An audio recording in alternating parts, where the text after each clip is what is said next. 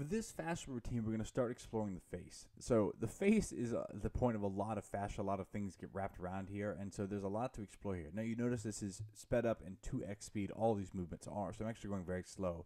But the point is, we're going to spend a few minutes just pulling on your face. It may seem weird, but if you let go of that and just focus on finding different spots, you're going to realize there's a ton of pressure here. So everything from your ears to your eyebrows to your chin to your cheek to your jaw, anything that feels stiff, you feel the sensation of pain or something that's cropped up that's where we want to spend time because if we can get that to start to mobilize, we can start to restore a lot of the tension around the upper neck, shoulder, everything attaches there. So find a spot. If you feel anything that feels stiff, then stay there.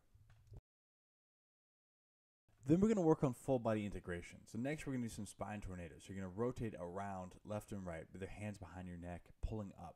Now, the more you can open up this torso, lean back, and you can flex down, you can lift left and right, breathing in and out consistently the whole time. So inhale and exhale.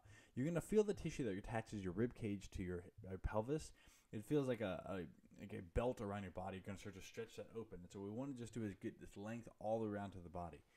Then we're gonna work on our our torso twist. Take your hand on your shoulder blade, pull the elbow, step behind, and exhale. So you're gonna turn towards the uh, to turn away from the the direction of your torso. You can squat down, you can rotate, you can lengthen the spine, you can twist, you can open up. Just breathe in and out. With all these, I aim for three breaths in, three breaths out through the mouth, three breaths in, three breaths out through the nose. It's just a helpful way to get about 30 seconds of movement in here, but you want to make sure you don't hold up and don't get stuck in this tension. Breathe through it.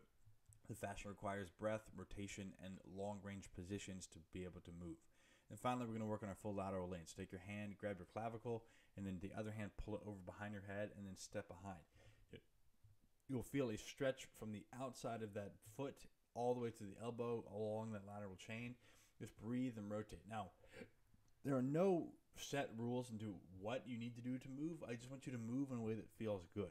You know, as you do that, you're going to feel a little bit more confident in your ability to understand your body. Now, this is lengthening the entire chain along the outside of the body so you can rotate, but every bit of tissue, it's all connected. You have one fascial suit that wraps around your entire body, so we're trying to create motion and tension on that and to get that to be healthier. So explore, close your eyes, breathe, and just see what your body feels. And if you find a sticky point, stay there.